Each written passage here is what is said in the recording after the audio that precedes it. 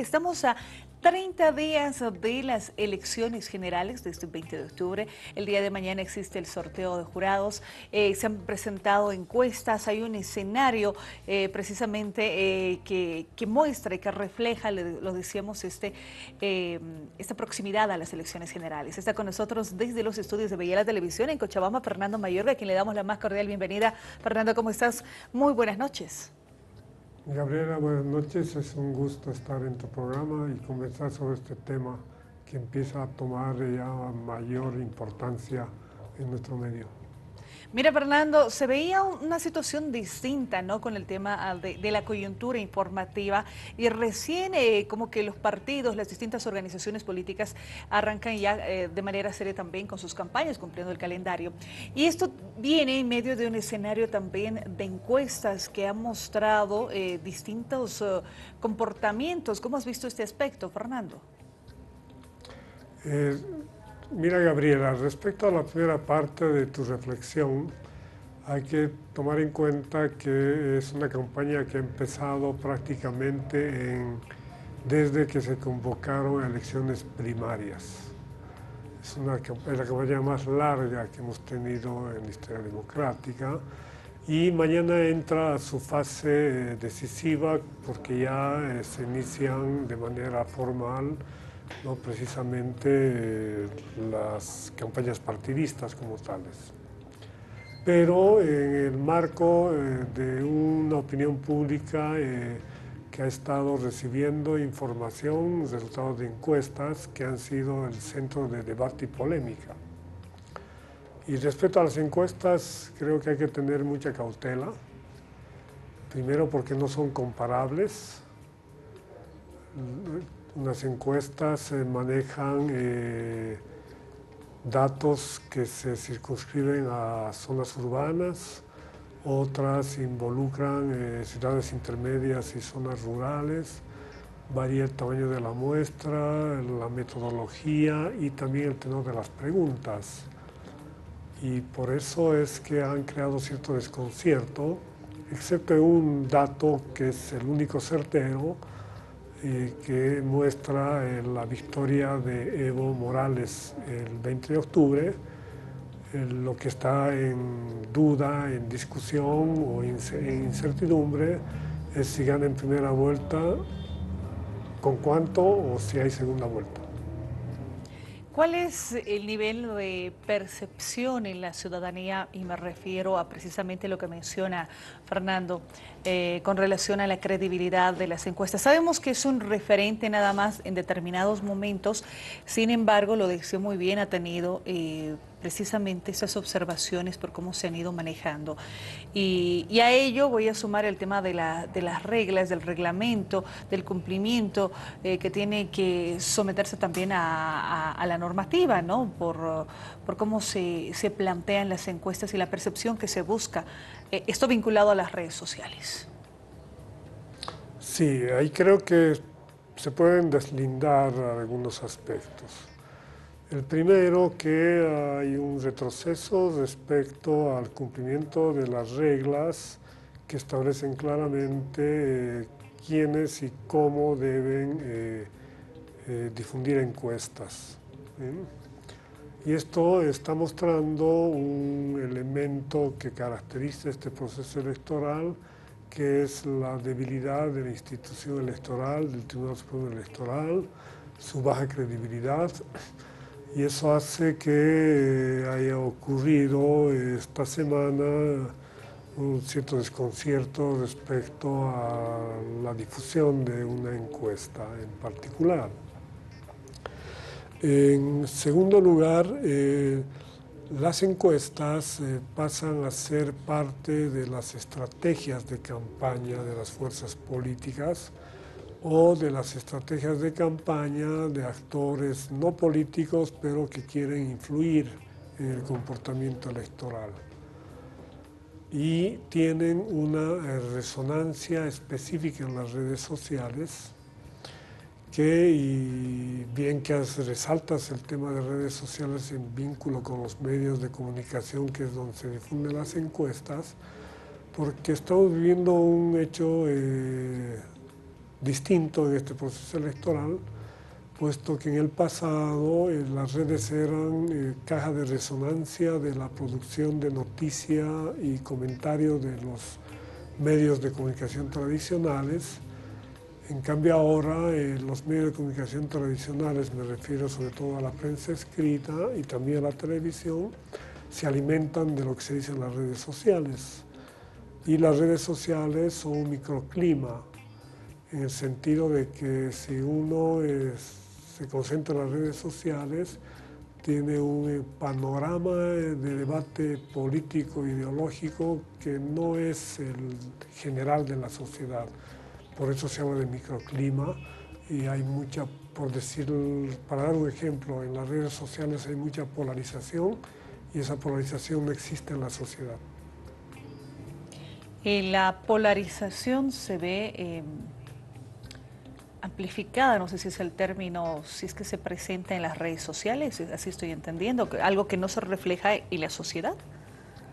Sí, eh, si hay un rasgo que caracteriza el proceso electoral boliviano en comparación, por ejemplo, con el proceso electoral argentino, ni hablar con el brasilero del año pasado o el colombiano, es que en nuestro país no existe polarización, en el sentido de que se estén enfrentando dos proyectos con fuerzas políticas que enarbolen proyectos antagónicos.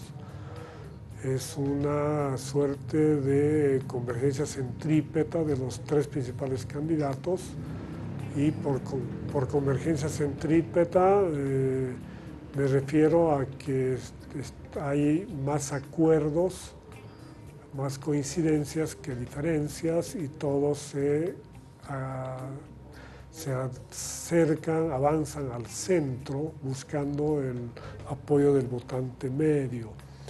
Entonces, sin embargo, donde aparecen discursos polarizantes es en las redes sociales pero en general ni los principales candidatos ni la opinión pública, ¿no? la sociedad en general muestra eh, rasgos de fractura, de división, de antagonismo como ocurrió en anteriores elecciones. Fernando, volviendo al tema que hacías referencia, ya, en materia de, las encuestas, en materia de resultados, decías algo, eh, se menciona eh, una preferencia, una, em, una distancia que puede ser mayor o menor conforme a las cinco encuestas que se han dado a conocer eh, del movimiento al socialismo. La pregunta es, eh, ¿hay primera vuelta y segunda vuelta? ¿Se busca generar de repente también este escenario eh, de incertidumbre o qué es lo que ocurre con relación a, a estos resultados? Sí, todas las encuestas coinciden en que el vencedor de las elecciones es Evo Morales. Eh, varían en, el, porcentaje de votación. Sabemos que con la nueva constitución política hay dos maneras de acceder a la presidencia y, ahora es de manera directa mediante el voto, es con mayoría absoluta o con 40 por, más de 40% y una distancia, diferencia de 10 puntos respecto al segundo en primera vuelta. Eh, por primera vez en esta elección, si hay un elemento novedoso, es de que aparece la posibilidad de una segunda vuelta. Ahora bien, en estos 30 eh, días se va a dirimir esa incertidumbre en gran medida porque hay un entre 10 y 15% de indecisos que son eh, los que inclinarán eh, la balanza en uno u otro sentido. Y creo que lo que va a definir va a ser lo siguiente.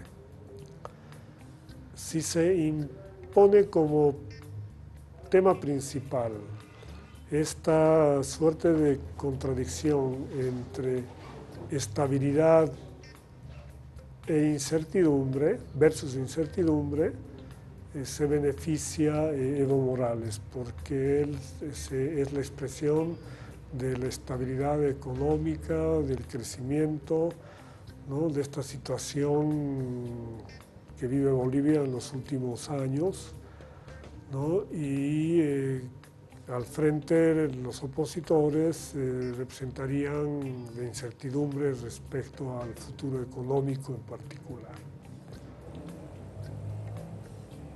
La otra posibilidad es que se imponga una contradicción entre continuidad versus cambio, donde continuidad está representada por Evo Morales y frente a eso el cambio y la renovación, la alternancia en la presidencia con otra figura política. En ese caso, obviamente, Evo Morales sale desfavorecido. El gran desafío o el desafío para las fuerzas eh, políticas en este caso para el oficialismo, para el MAS y las dos principales fuerzas de oposición, es lograr que cuál de esos eh, que se imponga eh, aquella eh, contradicción antinomia que les conviene para su estrategia electoral. Este 15% de indecisos que, que se hace referencia a través de estas encuestas prácticamente tendrían que elegir, valorar, ver, definir este tipo de situaciones, porque la parte de los indecisos, este porcentaje de indecisos es eh, muy importante en este escenario electoral, sobre todo con la coyuntura.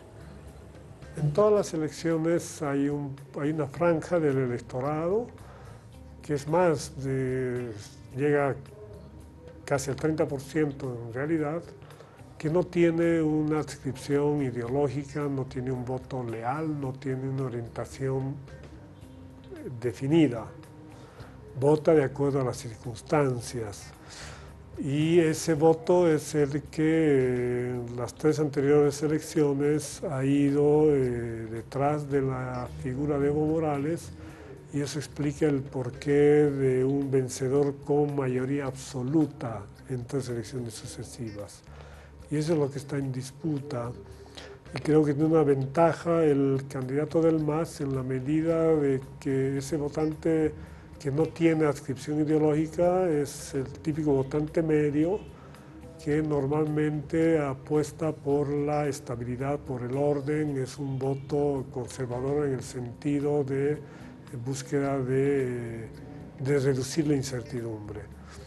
Pero insisto, depende depende del peso que vaya a tener esta interpelación contra el MAS y la necesidad de alternancia y cambio en el mando del gobierno y para poder eh, evaluar si esto va a tener impacto en este segmento de población que todavía no ha definido su voto y que en estos 30 días próximos estará sometida a estas convocatorias del MAS y de las otras fuerzas eh, políticas.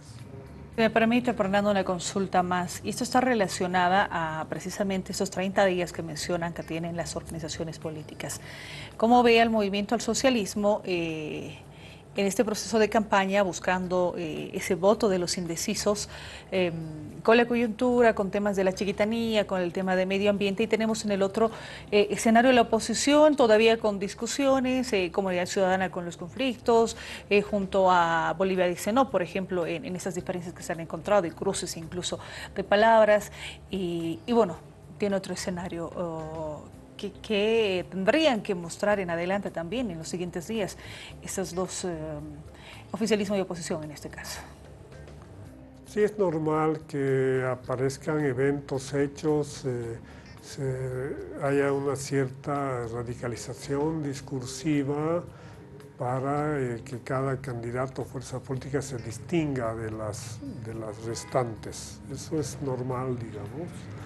Eh, yo no evito especular acerca de los efectos de los acontecimientos del día en las intenciones de la votación. Eso es algo muy difícil de poder comprobar. Lo que me interesa destacar es otro hecho, y es que eh, en los 30 días próximos ¿no? es posible que se, se desate lo que también es, una costumbre en la pugna electoral cualquier parte del mundo, que es la guerra sucia. Pero al respecto creo que hay un elemento eh, positivo a tomar en cuenta y es que eh, no existen actores externos interesados, involucrados con eh, intenciones o intereses o con actos de incidencia en la política nacional.